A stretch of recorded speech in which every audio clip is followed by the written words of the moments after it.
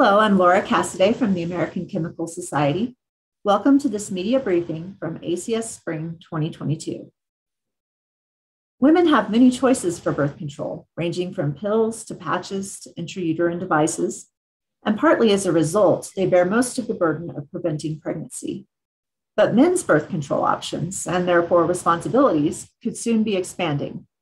Today, scientists report a non hormonal male contraceptive that effectively prevents pregnancy in mice without obvious side effects.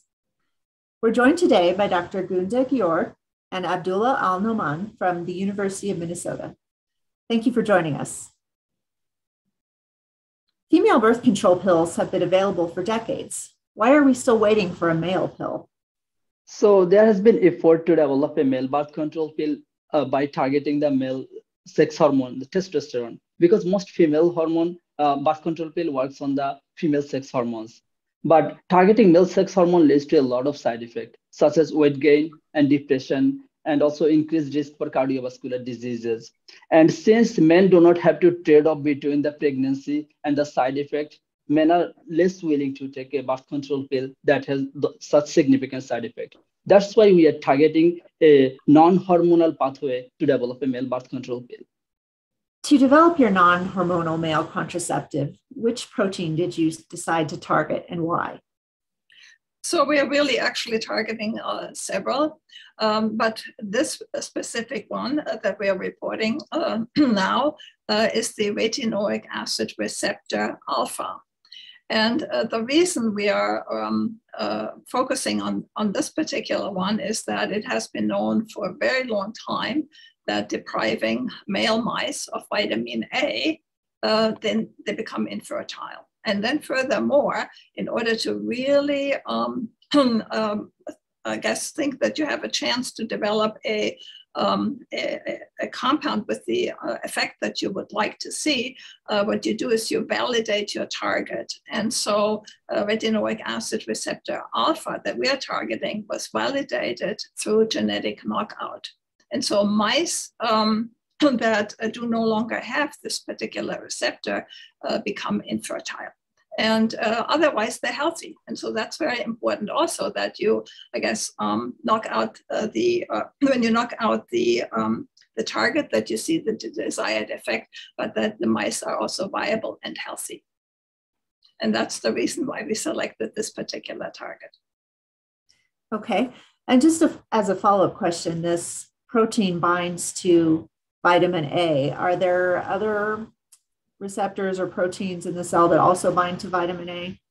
Yeah, so there are actually three receptors. They're called alpha, beta, and gamma. And so we're um, uh, selectively targeting, uh, targeting uh, the ARIA uh, alpha protein. And how did you identify a compound that binds specifically to the retinoic acid receptor alpha?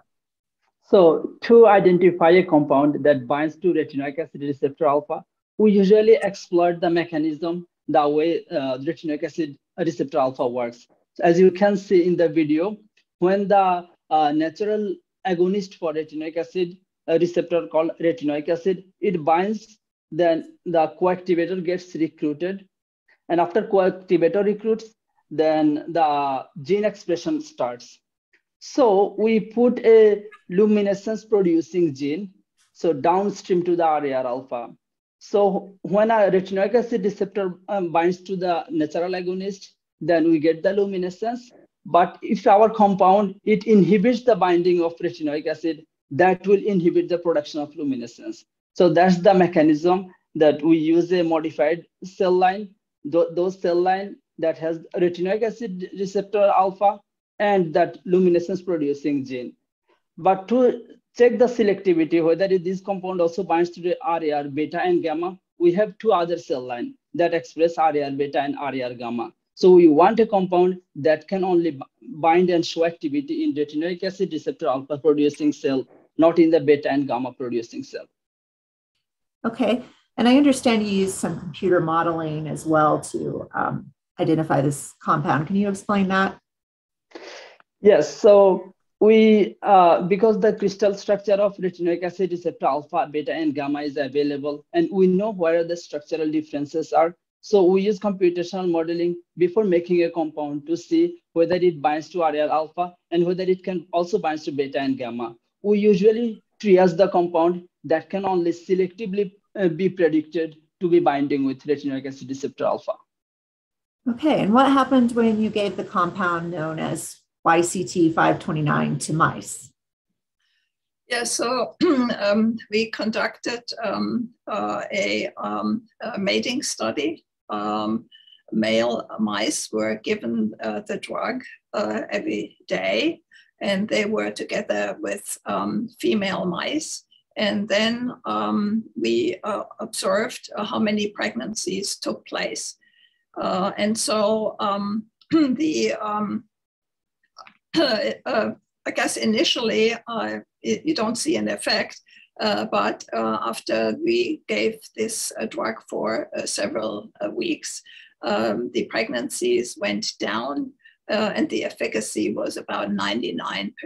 So meaning it was a very, very high effect.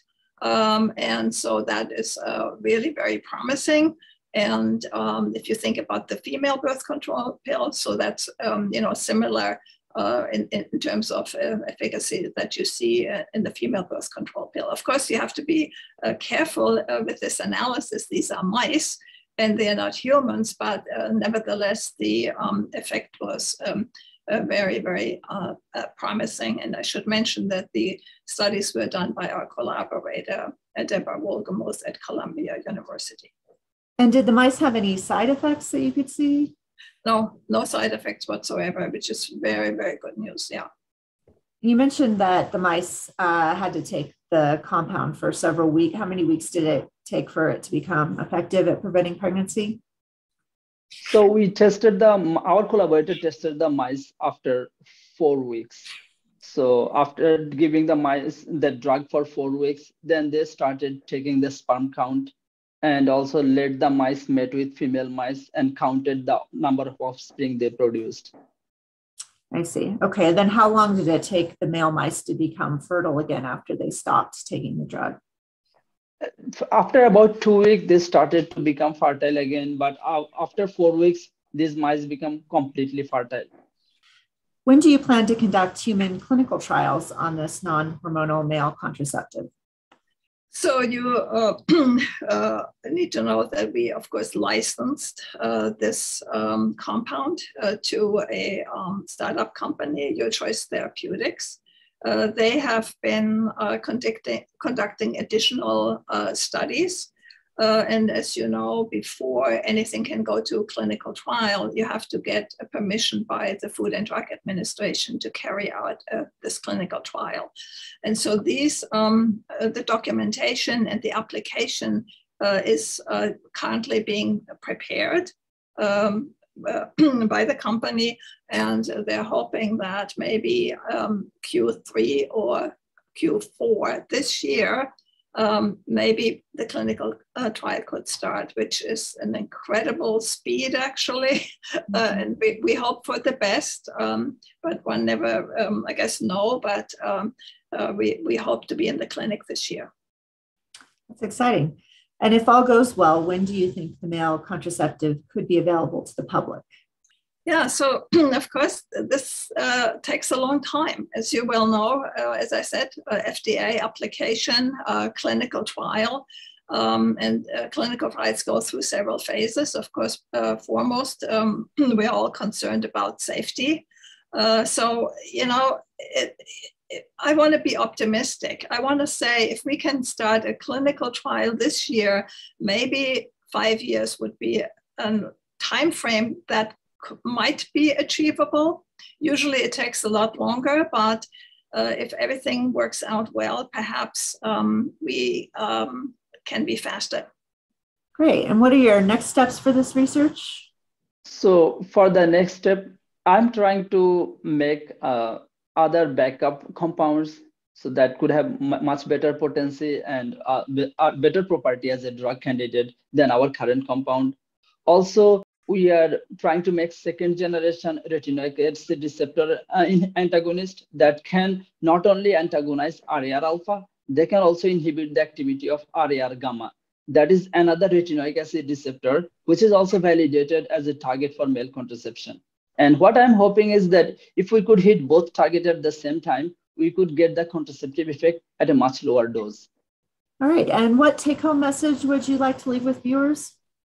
So I want to maybe quote uh, the um, Male Contraceptive Initiative. And so um, what, what, what they're uh, promoting is um, uh, reproductive choice for all. And so I think that is really, really important that, uh, you know, female, um, uh, the female has, of course, many opportunities uh, to control their fertility, but for males it's so limited. And so if we can expand uh, the choices for men and for couples, I think that would be really wonderful. Thank you, Dr. Georg and Noman, for sharing your research with us. Be sure to check out our other media briefings for ACS Spring 2022, which will be posted throughout the meeting at acs.org slash ACS Spring 2022 briefings.